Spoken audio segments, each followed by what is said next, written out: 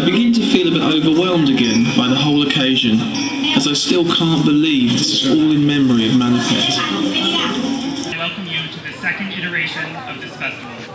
Our festival last year was a huge success, so we were fortunate enough to have the opportunity to keep this project going. This year, we are proud to be showcasing 25 feature-length films from around Southeast Asia. These movies represent the broad range of skilled filmmaking in the region and were thoughtfully nominated by our motion picture ambassadors, several of whom are with us today.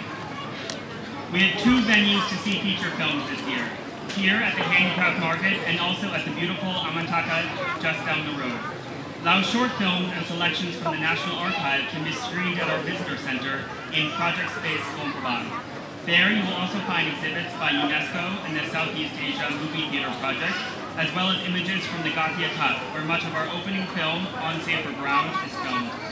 You will also have the opportunity to see film in many businesses around town. All in all, it will be an exciting five days of Southeast Asian cinema.